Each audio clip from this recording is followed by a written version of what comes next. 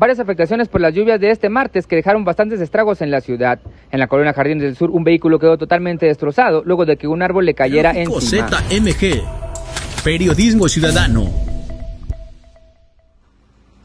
Fue sobre la calle Isla Pomona e Isla Salomón que un joven que se encontraba en su hora de lunch mientras se resguardaba de la lluvia escuchó un fuerte estruendo en la colonia Jardines del Sur debido a que un árbol de gran tamaño se vino abajo aplastando completamente su Honda Fit en color gris, el cual refieren personas de la aseguradora ya es pérdida total.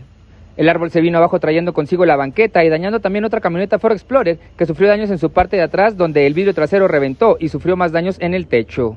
Fueron algunas de las afectaciones que se vivieron este martes en la zona metropolitana de Guadalajara, donde también sobre el Cruz del Sur, en dirección hacia Lázaro Cárdenas, otro árbol cayó, afectando dos camionetas Honda CRB, las dos en color blanco. No se registraron lesionados, únicamente pérdidas materiales.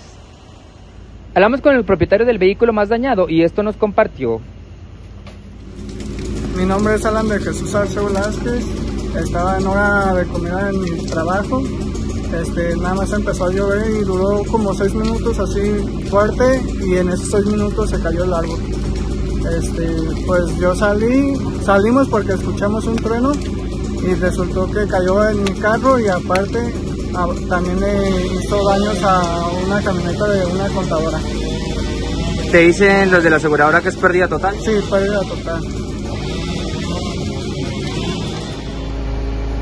Reportando desde las calles de la ciudad, Mario Vaca. Tráfico ZMG. Periodismo Ciudadano.